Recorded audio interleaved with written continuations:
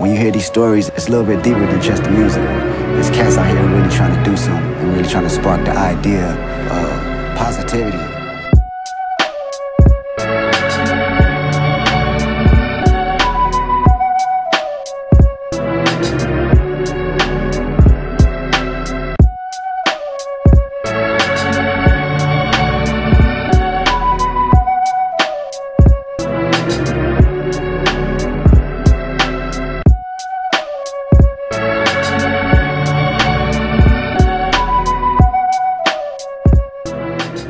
RWB, standing for Rauh Welt Begriff.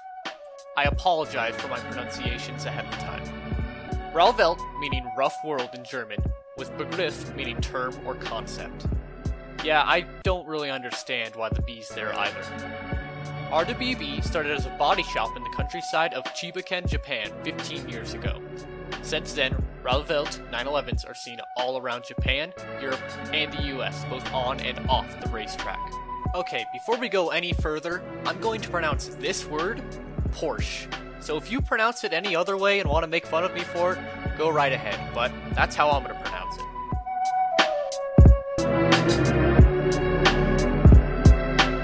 Who is Akira Nakai? Nakai-san, as he's known, is the founder, CEO, and artist behind RWB. Nakai is known for his Coca-Cola and smoking habits when working on each car. He'll burn through liters of coke and cartons of cigarettes until a full blown piece of art comes out the other side. Nakai started in a different place, however. He began his work in motorsports with AE86s and drifting. Shameless plug, my last video in this series actually went over the AE86, so after this, go check that out. Eventually, Nakai would meet his new passion in the form of a crashed white 911 that rolled into his shop. After working on it for a bit, he was hooked and purchased a 930 as his first Porsche. This went on to become a legend.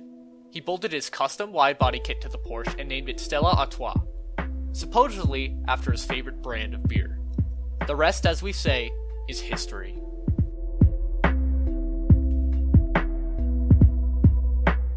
I first heard about RWB Porsches when I fell in love with the 930 Turbo, or the Widowmaker as it is known.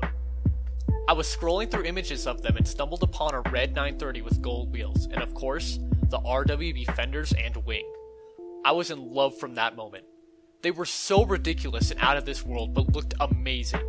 I had a new dream car. But where did they come from? How were they made? Akira Nakai creates every Porsche by hand on site.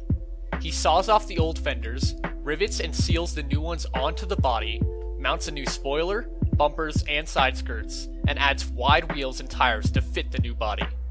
The work is not done by a team, it's normally only done by Nakai alone with his tools by hand. They're not expensive, specialized tools though.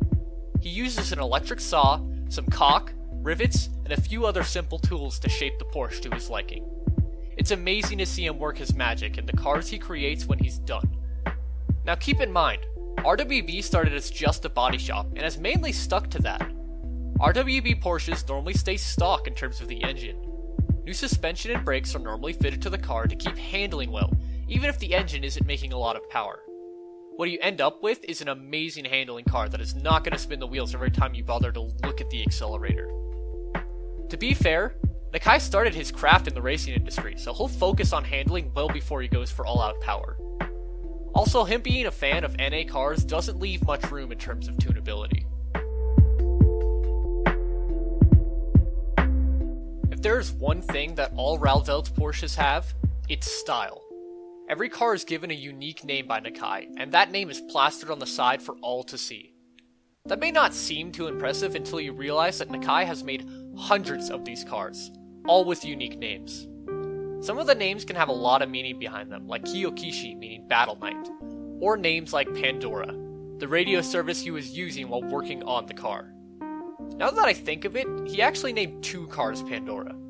Still sounds cool. Looking for more unique style? Take a look at the tires. He letters them himself with spray paint and a stencil that reads Idlers. What is the Idler brand? Some random brand that Nakai came up with himself that he letters every tire with. Everywhere you look on a Rauh Welt, there's a dash of style, from the canted speedometer to the ridiculously large wings. However, not every car is the same. they're not just Porsches with wide bodies on them. The Nakai spends hours on every car adjusting every little detail to his own specifications. He wants every car to be perfectly balanced and feel amazing every time you go for a drive. I've never driven an RWB Porsche, sadly, but from what I've heard, it doesn't feel like just a fast Porsche. Sure, every car feels like it has a story behind it and a certain aura surrounding it, but a Rauh Welt is different. Every Rauh Welt feels like a piece of Nakai's history. Every single one feels like it has its own unique personality.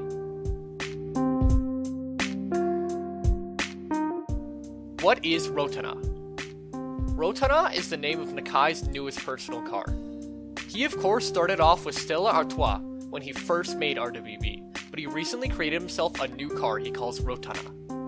Now, when I said earlier that most RWB cars don't focus on the engine, I was right, but this one is different. Nakai took a 993 and fit a huge wide body kit on it, as he does. In the rear, he is sporting massive 14 inch wide tires and 12 and a halfs in the front. With the engine, they went all out with this one. Nakai got front row, a Porsche tuner, to rebuild the internals of the engine and fit a decently sized turbo on it. Because he is so used to naturally aspirated cars, he wanted the car specifically tuned to have the mid range torque he was used to. And it sure does. Currently, it is making 575 horsepower and is being used around the world by Nakai to compete in any racing event he can get into. He debuted at the Idler Games, a grassroots racing event started in Tsukuba, Japan, now, why have I mentioned Rotana over any of the other hundreds of cars RWB has produced? Well, because this is Nakai's car. It really represents what Rauh Welt really is. Balls to the walls crazy and ready for the track whenever the situation calls for it. RWB is one of the most legendary, if not the most legendary, mod shops of all time. I believe it is the perfect blend of both European and Japanese car culture. Each car has a personality of its own and drives unique in its own way. That's it for today's video. This is the second video in this series. I'm basically researching cars that I've always liked in depth and sharing it all with you guys. If you have an idea for the next video, comment it below and it may be featured in a future video. Thanks for watching.